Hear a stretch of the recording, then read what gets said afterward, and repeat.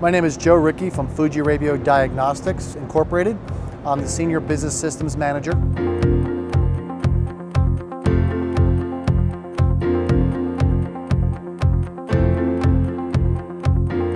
Um, our technical team was developing reports for the users um, on an as per needed basis using Crystal Reports.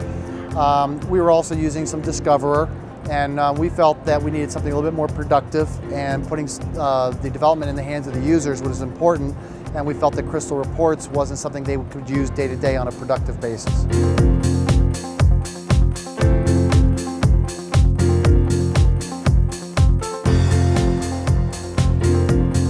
Um, we've utilized the built-in financial functionality. Um, it has a nice function for importing FSGs. Um, it also has the ability to create um, reports that are a little bit more complicated that are required for, by our parent company that are not as much out of the box from a financial reporting standpoint.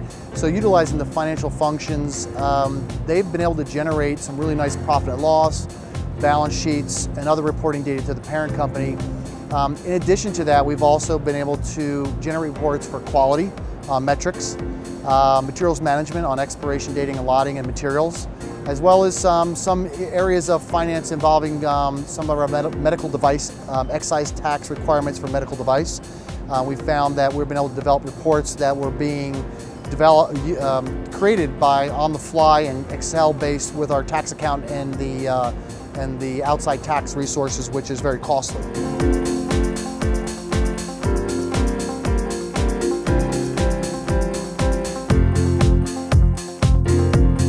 We do use the Query Exchange. Um, we find that um, there are some really nice pre-developed queries um, we generally take them and do a little bit of manipulation to them, which is really what they're there for. So we may not use it exactly as somebody else developed, but it's a great kickstart in or, instead of starting a query from scratch. So if you're looking to do a drill down entry for your accounts receivable or accounts payable, instead of trying to reinvent the wheel and go through and finding the tables, we leverage the query, uh, the, the repository, bring those in, maybe change them a little bit, and then use them for our drill down.